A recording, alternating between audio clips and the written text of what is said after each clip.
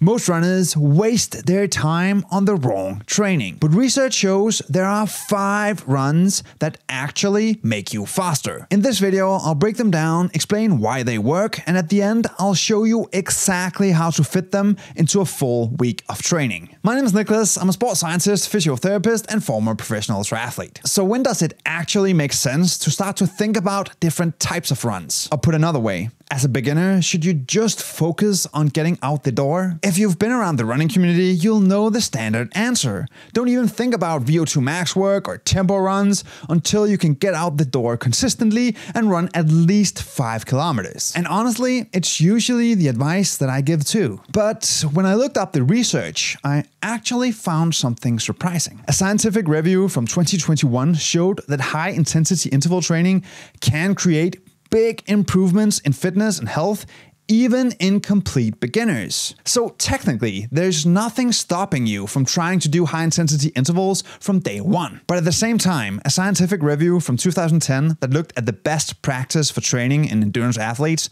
found that having a strong aerobic foundation built through lots of easy running makes you more likely to benefit from harder training later on. Or put another way, while high intensity intervals do work, Easy runs actually matter a ton. You see, low intensity runs build the base that your body needs. You get more capillaries, more mitochondria, and better durability. Or put simply, they build your endurance. And the evidence is pretty clear. The more running volume you can handle consistently, the better your performance becomes. So here's how I see it. In the beginning, don't overthink it. Just focus on building the habit and getting out the door consistently. Which is why the first of the five most effective runs is the Zone 2 run. So, what is this special Zone 2 run that we see everywhere on the internet? Well, even though scientists usually divide running into three zones, most coaches use five because it's just more practical. So when people talk about zone two running, they usually mean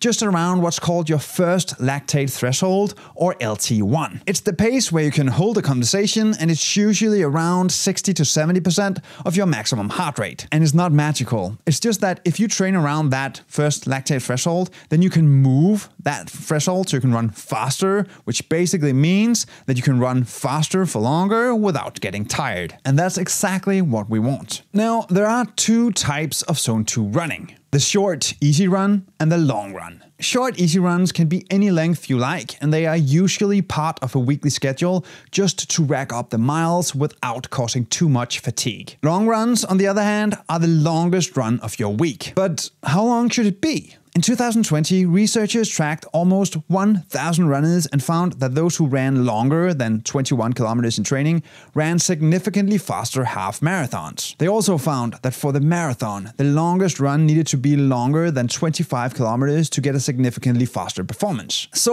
while there's no magic number for how long a long run should be, I think that a good starting point is more than 21 kilometers if you're going for a half marathon, and more than 25 kilometers if you're going for a marathon. But if you want to run faster, we can't rely on long runs and easy runs alone. According to a review from 2010, high intensity training is a critical component in the training of all successful endurance athletes. However, about two high intensity interval training sessions per week seems to be enough to get the physiological adaptations and performance gains without too much stress on the body over the long term. They even found that in athletes who already had an established endurance base and could handle high training loads, training harder could still give small performance gains. If Zone 2 builds the foundation, then this next run pushes your limits to the max.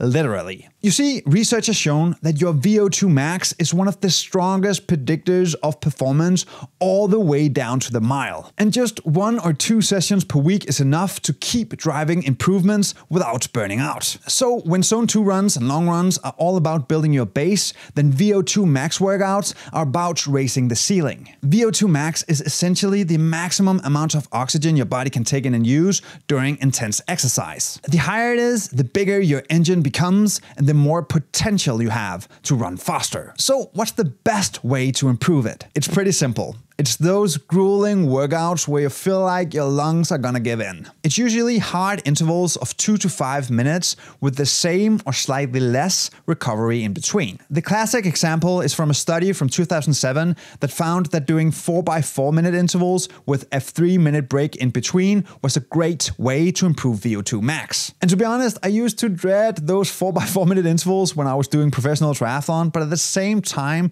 they were some of the best workouts to make me run faster. So, zone 2 is your base and VO2 max is your ceiling. But here's the real question.